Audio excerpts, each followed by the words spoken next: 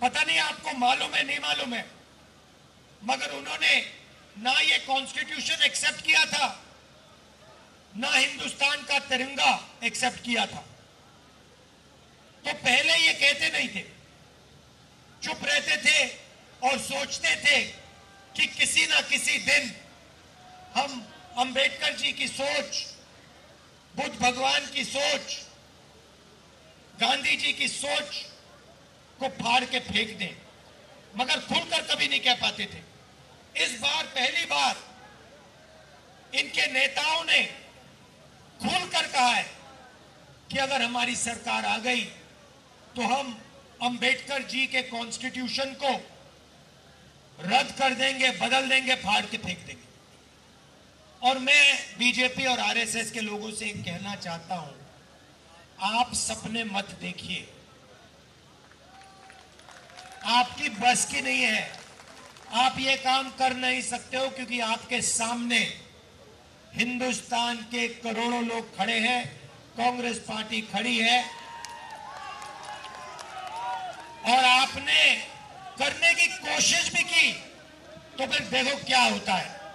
सड़क पे आपको ये कोई कह दे तो आप उसे क्या कहोगे?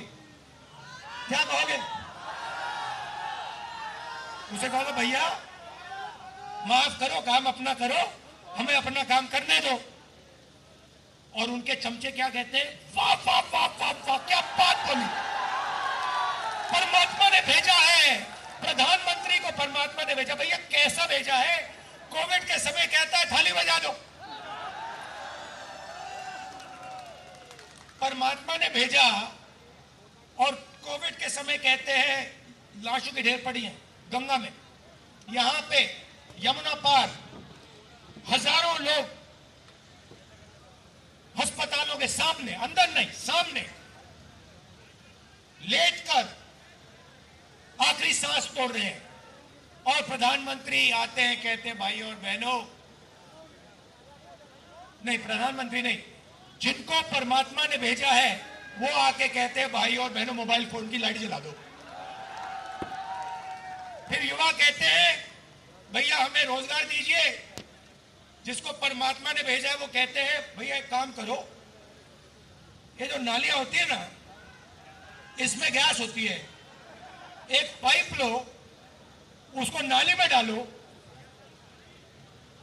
पाइप में से गैस निकलेगी, गैस में आग लगाओ और पकौड़े बनाओ। भैया, परमात्मा जी, आपने कैसा आदमी भेज दिया?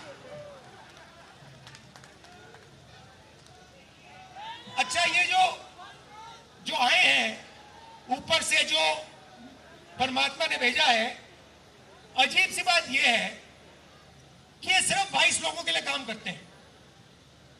अदानी जी के लिए, अंबानी जी के लिए, वो जो भी चाहते हैं, दो मिनट में मोदी जी कर देते हैं।